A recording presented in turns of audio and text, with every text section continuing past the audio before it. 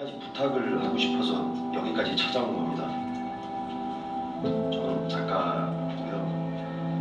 제 작품에 당신을 담고 싶습니다.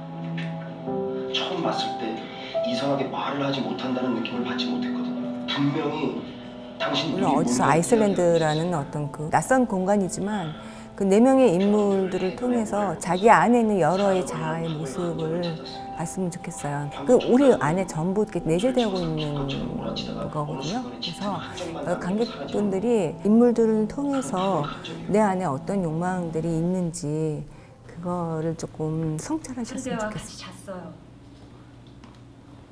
알고 있었죠? 당신 얼굴에나 써 있어요. 여자의 직감은 무서운 법이죠. 졸, 너무 걱정하지 말아요. 하리데 씨는 책임감이 강하죠. 그 사람은 결국 당신 못 버릴 거예요. 그 하르데가 우편을 감춰둔 숄에게 뭐 강하게 화를 내면서 그 숄을 이렇게 배신 아닌 배신하는 장면이 있어요.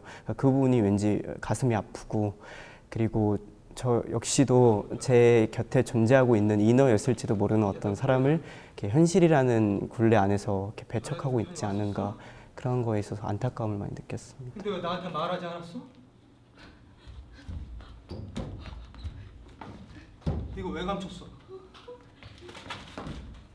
왜 나한테 말하지, 말하지 않았냐고? 왜 나한테 말하지 않았냐고! 그 현실에서 일탈 이라는 걸 많이 삼았거든요.